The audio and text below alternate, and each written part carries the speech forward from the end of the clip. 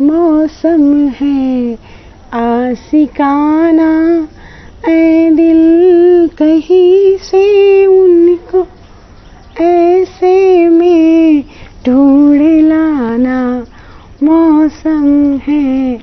आसिकाना friends, मैं आपकी दोस्त सुधा सिंह, विकलांग साथी ट्रस्ट के दिव्यांगम चैनल से आप सबका स्वागत करती हूँ और आशा करती हूँ कि आप लोग स्वस्थ होंगे। फ्रेंड्स आज वाकई मौसम बहुत अच्छा है और बारिश हो रही है। और इस वजह से मैं अपने लॉन में सूट नहीं कर पा रही हूँ और आप लोगों को मैं कहानी सुना रही हूँ, तुम कब आओगे?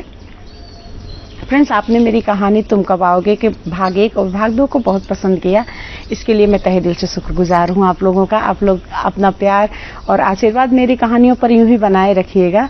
और मैं अपनी कहानी के माध्यम से आप सबको फिर लेकर चलती हूँ निशा की ज़िंदगी में कि उसकी लाइफ में कितनी दिक्कतों का सामना उसे करना पड़ा। समाज हमारा समाज।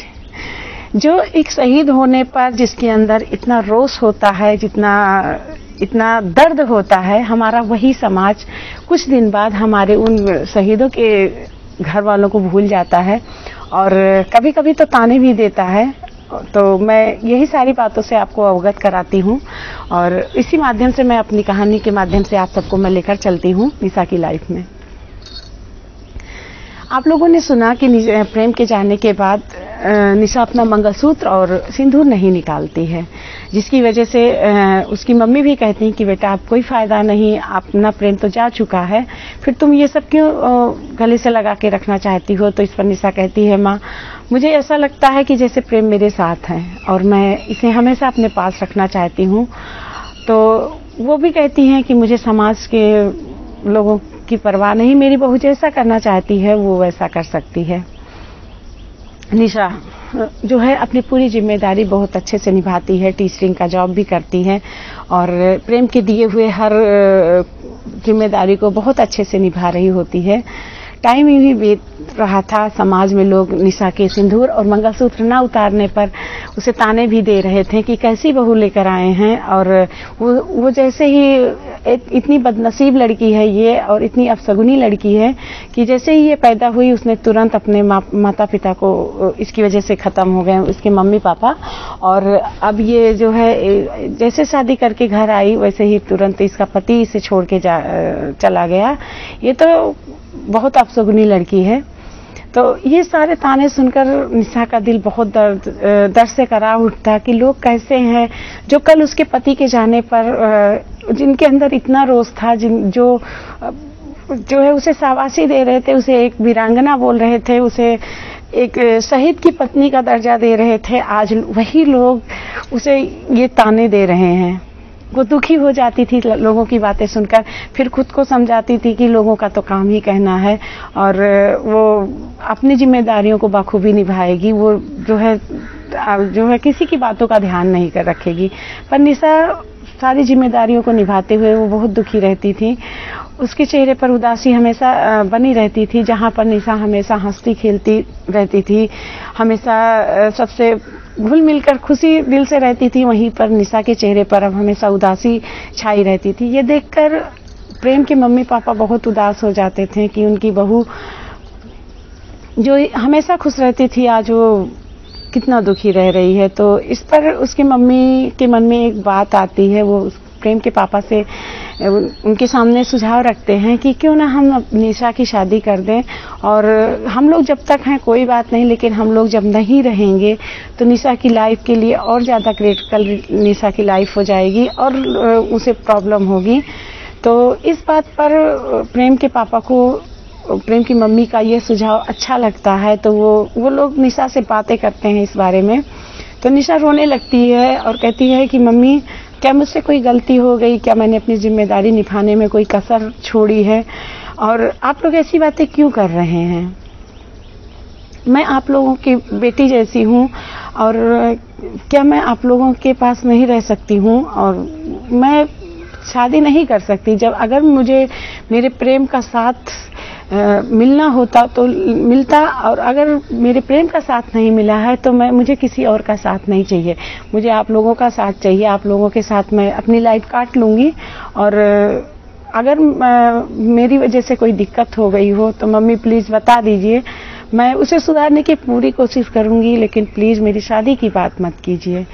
प्रेम की मम्मी रोने लगती है निशा को गले लगा के कि जो है उनकी बहू कितनी अच्छी है, कितनी समझदार है, लेकिन समाज अभी तो उसे सिर्फ़ ताने दे रहा है, कल पता नहीं उसके लाइफ के साथ क्या हो।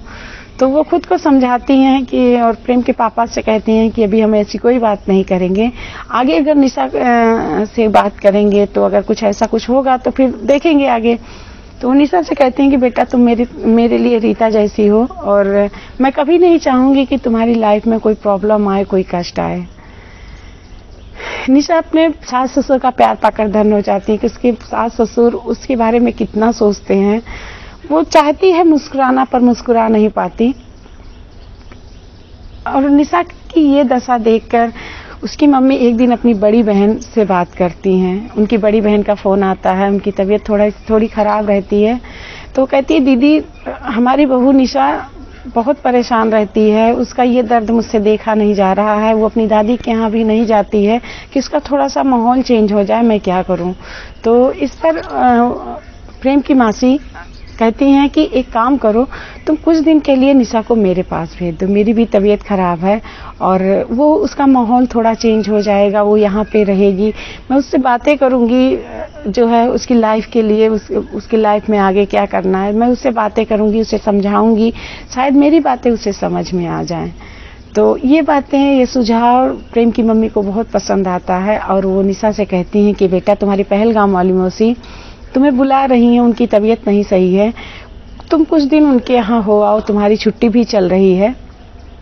तो इस पर निशा कहती है कि, मम्मी जी, मैं कैसे जाऊँ? मैंने, मैं मौसी से सिर्फ़ एक बार मिली हूँ और मैं ज़्यादा उनके बारे में कुछ जानती भी नहीं हूँ और जो है, मैं क्या उनके साथ एडजस्ट कर पाऊँगी? तो इस पर प्रेम की मम्मी कहती है कि, बेटा, मेरी दीदी बहुत अच्छी हैं। वो बहुत अच्छे से ख्याल तुम्हारा रखेंगी। प्रेम हर गर्मी की छुट्टी में अपनी मासी के पास जाता था और वहाँ पर वो पूरा महीना रहता था और वहाँ से आने का नाम नहीं लेता था जल्दी। तो तुम्हारी मासी बहुत प्यार करेंगी तुम्हें। जो है, दीदी वैसे भी बहुत ध्यान रखती हैं सबका। तो इस पर निशा जाने के लिए तैयार होती है और प्रेम के पापा पहलगाम के लिए, जम्मू के लिए टिकट कटाते हैं और निशा को लेकर जैसे ही वो जम्मू स्टेशन पर पहुँचते हैं, और निशा जैसे ही जम्मू स्टेशन पर कदम रखती है, उसे उन हवाओं में, उन वादियों में एक अजीब सी अनुभूति होती है। उसे लगता है कि जैसे कोई हवा उसके कानों में कुछ कह के निकल गई हो। वो आँखें बंद करती है और उन हवाओं को महसूस करती है कि इसी बीच प्रेम के पापा कहते हैं, बेटा, तुम जिसे ढूंढ रहे हो वो यहाँ पे नहीं मिलेगा। और ये कहते कहते उनकी आँखें भर आती हैं। निशा कहती है, पापा, हम लोगों ने वादा किया है ना प्रेम से कि हम लोग नहीं रोएँगे तो फिर ये आँसू किस लिए? तो उसके पापा अपने आँसू पोसते हैं और मुस्कुराकर सर हिलाते हैं कि हाँ बेटा। और निशा को लेकर प्रेम की मासी के यहाँ आ जाते हैं। प्रेम की मासी निशा का इंतज़ार कर रही होती है, वो निशा को देखते ही रोने लगती हैं और निशा भी उनके गले लग के रोने लगती है। पापा भी किसी तरह दोनों लोगों को चुप कराते हैं। दूसरे दिन प्रेम के पापा वापस आ जाते हैं और निशा मासी जी के साथ रहती है, उनका बहुत ख्याल रखती है बीमारी में। मासी जी का, मासी जी का एक लड़का रहता है जो विदेश में जाकर जॉब करता तो वहीं पे बस जाता है। यहाँ पर मौसी जी अकेली रहती हैं। उनके साथ एक नौकरानी रहती है राधा। कुछ ही दिनों में निशा और राधा की बहुत अच्छी फ्रेंडशिप हो जाती है और राधा उनके यहाँ सुबह आती थी, सारा काम करके। इसके बाद शाम को अपने घर जाती थी। वहीं पास में एक छोटा सा गाँव था। पहाड़ों में बसा हुआ है। तो वो वहीं पर रहती थी, वो रोज सुबह आती, सारा काम करके, इसके बाद फिर अपने गाँव वापस चली जाती थी। निशा और राधा की बहुत अच्छी फ्रेंडशिप हो गई थी। वो दिन भर भाभी भाभी करती रहती और ये निशा का भी मन लगा रहता। वो उसे हंसाती, उसे घुमाती जो है वादियों में। एक दिन निशा स्टोर रूम में कुछ कर रही थी कि उसके हाथ में एक कील चुप जाती है। उसके हाथों से बहुत सारा खून निकल रहा होता, मासी जी घबरा जाती हैं कि इसको कैसे सही करे, वो पट्टी वगैरह बांधती है, पर खून बंद होने का नाम नहीं लेता। उनके घर से हॉस्पिटल बहुत दूर होता है तो इस पर राधा सुझाव देती है कि, माँ जी मैं भाभी को अपने गाँव ले जाऊँ, वहाँ पर एक वैद्य जी हैं, और वो बहुत अच्छी दवाएँ देते हैं, और इससे भाभी को टिटनेस भी नहीं होगा, वो इंजेक्शन लगा देंगे। और दवाएँ दे देंगे वो जड़ी बूटी की दवाएँ भी दे देते हैं तो दवाएँ दे देंगे तो उससे सही हो जाएगा और आप परेशान मत होइए भाभी के भाभी को कुछ नहीं होगा। तो इस पर उसकी मा, मासी जी कहती हैं कि हाँ ठीक है बेटा तुम लिए जाना और अभी चली जाना और वहाँ दिखा के इसे दवा देके वापस ले आना। निशा और राधा अपने गाँव की तरफ़ चल पड़ते हैं। और निशा को पहाड़ियाँ और झरने सब बहुत अच्छे लगते हैं। वो सबको एंजॉय करती हुई बड़े आराम से जा रही होती है और वो देखती है कि राधा का गाँव पहाड़ों के बीच में एक सुंदर सा कस्बा होता है, जहाँ पर कुछ दस पंद्रह घर बसे हुए होते हैं। देखती उसका घर इतना सुंदर लगता है। वो वहाँ पे जाती है। तो राधा निशा को जब वैद्य के यहाँ लेके जाती है तो वैद्य जी किसी की दवा के लिए बाहर गए हुए, बाहर, बगल में ही घर, किसी के घर में गए हुए होते हैं। तो जब राधा पहुँचती है तो वो वैद्य के घर में किसी को आवाज़ देती है कि, काकी, क्या वैद्य चाचा है घर पे? तो इस पर एक बूढ़ी औरत निकल के आती है, वो कहती है, नहीं बेटा, वो बगल रामू के यहाँ गए हुए हैं, उनके यहाँ कोई आदमी जो मतलब बीमार है उसे देखने गए हैं।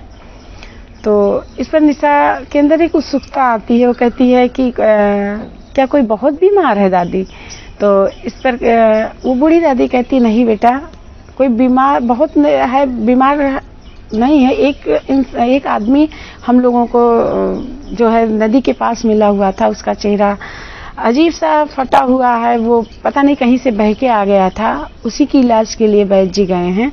और जो है, बहुत दिनों से, महीनों भर से रामू के यहाँ पड़ा हुआ है। तो जो है, और वैद्य जी के दवा से थोड़ा सा वो सही हो रहा है तो उसी को देखने गए हैं। निशा जो है, बैठी रहती है, तभी वैद्य जी आते हैं तो राधा कहती है, काका भाभी के हाथों में चोट लगी हुई है आप इसे देख लीजिए और जो भी लेप वगैरह लगाना है लगा दीजिए और अगर कुछ दवाएँ आपको लिखनी है तो भी दे दीजिए तो मैं मंगा लूँगी। तो इस पर वैद्य जी देखते हैं कहते बेटा कुछ नहीं ये मैं एक लेप लगा दे रहा हूँ इससे सही हो जाएगा। आ, तो राधा कहती है कि आ, काका बहुत देर कर दिया आप आने में। तो वैद्य जी कहते हैं कि बेटा वो जो इंसान आदमी मिला हुआ था अब उसकी तबीयत थोड़ी सी सही है, उसी के इलाज के लिए गया था और पता नहीं वो कौन है, कहाँ से आया है और कैसे नदी के नदी के पास मिला तो तुम जानती हो कि सब लोग उठा के उससे लाए हुए थे। तो इस पर निशा के मन में उत्सुकता जागती, वो वो कहती है कि, काका, अगर जो है आप उसकी, आप एक काम कीजिए ना, उसकी कोई पिक्स लेके इसके बाद आप बगल के थाने में दे दीजिए कम से कम वो लोग पता लगा लेंगे कि वो कहाँ से आया है, किसके यहाँ का इंसान है। कम से कम उनके घर वाले उसे ढूंढ रहे होंगे तो उन घर वालों के पास तक उनका उनका संदेशा चला जाएगा और वो लोग खुश हो जाएँगे। इस पर वैद्य जी कहते हैं कि बेटा उसका चेहरा इतना फटा हुआ है कि उसके घर वाले भी उसे नहीं पहचान पाएँगे। मैं तो इतने दिन से उसका इलाज कर रहा हूँ और जो है, फिर जाके उसका चेहरा थोड़ा सा देखने लायक हुआ, लेकिन इलाज से घाव तो भर गए हैं, लेकिन चेहरे पर जगह जगह पे दाग लगा हुआ है तो उसका चेहरा पहचानने में नहीं आ रहा है जिसे उसकी कोई पिक लेके थाने में मैं दूँ। तो इस पर निशा कहती है कि काका, उसके घर वाले उसका इंतज़ार कर रहे होंगे और जो है कम से कम उन लोगों को कुछ पता चल जाएगा। कोई तो ऐसी निशानी होगी जिसकी वजह से उसे उसके घर तक पहुँचा दिया जाएगा या उसके घर वाले उसे ले जाएँगे। तो इस पर वैद्य जी कहते हैं, बेटा अब ये तो मुझे नहीं पता है, लेकिन हाँ कोई मतलब कोई फ़ायदा नहीं है, उसकी ना कोई फ़ोटो अच्छी आएगी, ना कुछ समझ में नहीं आएगा। अभी अभी वो बीमार है और अभी वो ना बोल पा रहा है, ना देख पा रहा है, बस पड़ा रहता है और मैं उसका इलाज कर रहा हूँ, मैं उसे बचाने की पूरी कोशिश कर रहा हूँ। निशा का मन नहीं मानता, वो चाहती कि एक बार वो उस आदमी को देख ले, उसकी कोई फ़ोटो खींच ले और उसे ले जाकर वो बगल के गाँव में दे, थाने में दे दे। तो निशा राधा कहती, भाभी चलिए माँ जी गुस्सा करेंगी और अभी काफ़ी लेट हो गया है, हम फिर आप आइएगा, भाई जिसे मिल लीजिएगा, बात कर लीजिएगा। तो निशा कहती, राधा चलना एक बार देख लेते हैं उसको। तो राधा कहती, नहीं भाभी, आज माँ जी बहुत गुस्सा करेंगी मेरे ऊपर और उन्होंने कहा था कि भाभी को लेकर जल्दी आ जाना। निशान माने ढंग से वापस तो चली जाती है, वो खाना बनाती है और थोड़ा सा उसी सोच में गुम रहती है कि पता नहीं वो कौन होगा। जैसे वो अपने प्रेम का इंतज़ार कर रही है, उसके घर वाले भी, उसके बीवी बच्चे भी अपने पति का इंतज़ार कर रहे होंगे, उसके मम्मी पापा इंतज़ार कर रहे होंगे, पता नहीं वो कौन है। और वो मन में सोचती है कि कल वो मासी जी से पूछ के जाएगी और उसका कोई भी फ़ोटो लेके थाने में ज़रूर देगी जिससे वो अपने घर तक पहुँच जाए। उसका प्रेम तो उसे नहीं मिला, लेकिन कम से कम वो इंसान तो अपने परिवार से मिल ही ले।